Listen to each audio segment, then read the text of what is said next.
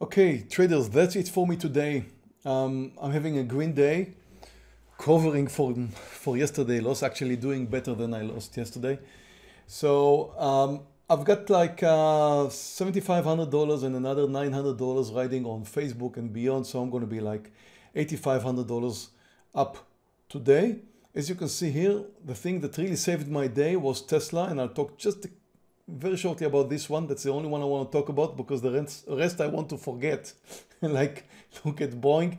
Although I was right, it came down finally, but uh, it took me out. And uh, Facebook was a nice trade. Starbucks, a loser, Beyond and two losing trades in ALXN. I'm definitely not proud of that, but I'm going to finish up um, $8,500 today, so I have nothing to complain. But let's just shortly look at uh, look at Tesla here. And um, what's interesting in Tesla is uh, the way, hey Scott, good to see you.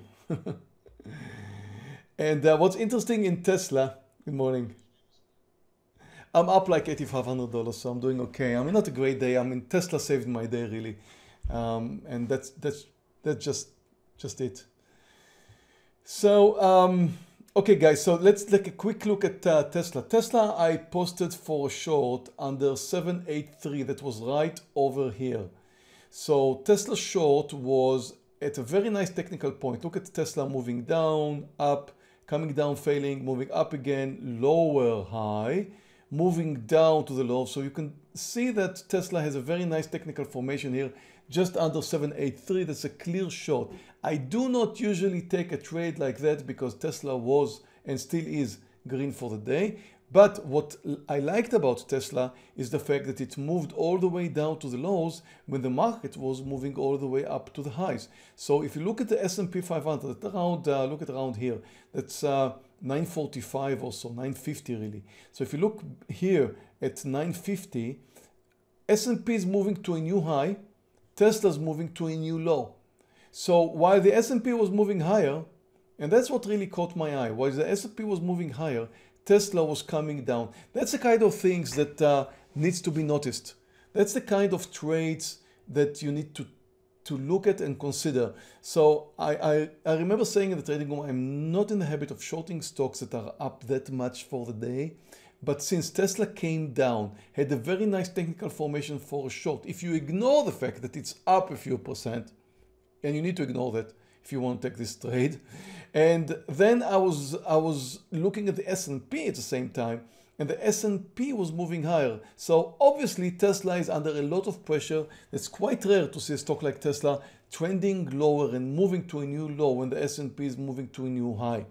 I mean, even if Tesla is under pressure, you would expect it to pull back up a bit when the market's moving higher and then move down when the market's pulling back down a bit.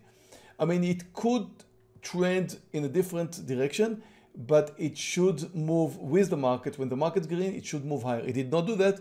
Came down under the lows when the market was moving to a new high. And I'm glad I took that trade, trusted it, um, saved my day really. $15,000 in Tesla. And that's what helped me finish uh, in green today.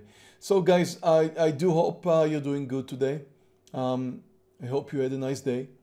And I'm going to leave you here with the good hands of uh, Scott and uh, Michael is here and just enjoy the rest of your day and I'll see you all tomorrow.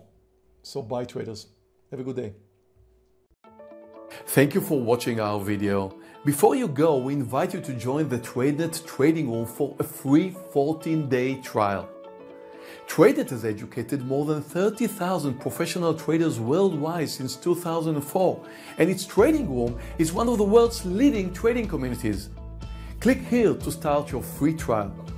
If you like this video, please subscribe to our YouTube channel where you can view many more stock trading videos.